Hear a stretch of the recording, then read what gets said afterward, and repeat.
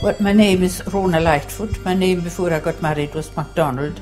I come from the island of South Uist in the Outer Hebrides, and um, I got married, and and uh, I got the name Lightfoot, so everybody knows me now as Rona Lightfoot.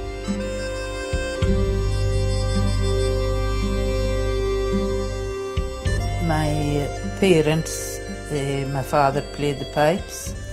All, his brothers, he had five brothers, and they all played the pipes. Um, my, my mother uh, left a, a rich uh, library of songs to the School of Scottish Studies.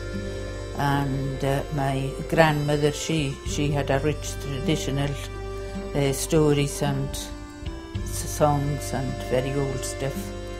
And um, cousins and all sorts of people.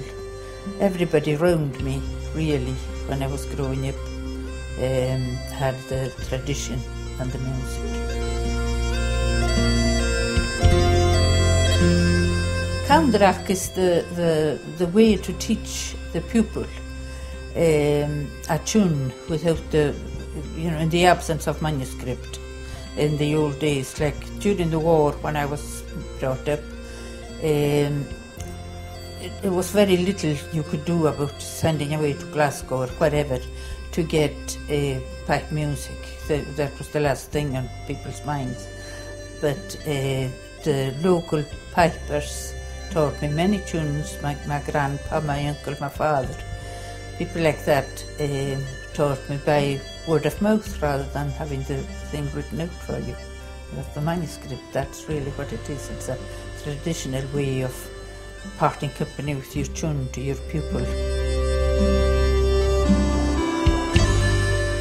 You competed, first woman to compete in the Blue Banner Peeper competition. Y- that yes, right? that that was another saga. Um, I, I entered uh, the competition because uh, you had to win so many things before you got to to go and play in it, and I achieved this position.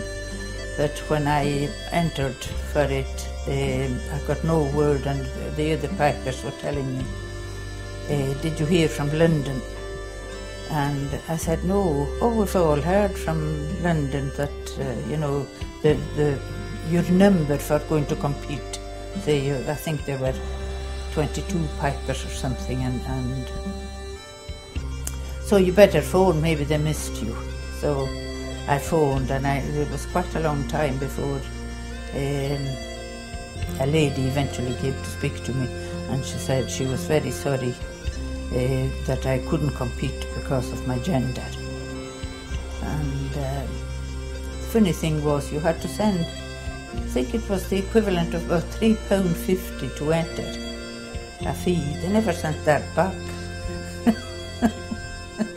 they took my fee, but they never paid it back. However, after much um, correspondence and uh, quoting the Sex Discrimination Act and so on, uh, they changed the constitution and women are allowed to play if they achieve the standard to get there. Uh, it's it's quite odd that men who were so keen on the Highland bagpipe they didn't want women to have anything to do with it at all. It was uh, it was a man's instrument, and to me it's a musical instrument. It's doesn't belong to any uh, particular crowd of human beings. It belongs to everybody, surely. And uh, I must say that the professional pipers that I met, the, the good pipers, they were always very, very nice to me. The ones that feared that women were going to come out of cracks in the wall and come in hordes from all over the world, the mediocre pipers, these are the ones that gave me a bad time, and some of them gave me not a very nice time at all, but I shan't name them because some of them aren't there anymore. There's no, nothing holding back the girls now, and it's it's very nice to see, and I'm delighted so, so many of them doing so well. Uh, working here is Andrea Boyd. She's one of the stars of the day, and and of course there's Faye Henderson who won the the gold medal. Mary, Mary and Patricia Henderson's daughter, she won the gold medal last year at the Argyllshire gathering. That's a terrific achievement. So they're getting there. Not only is the city of Glasgow alive with piping, they're coming from all over the world and you see all sorts of different types of, of pipes being played and uh, it's doing a tremendous amount for piping. It's, I look forward to it every year and uh, I think I'll be coming here for as long as I live if I'm able to.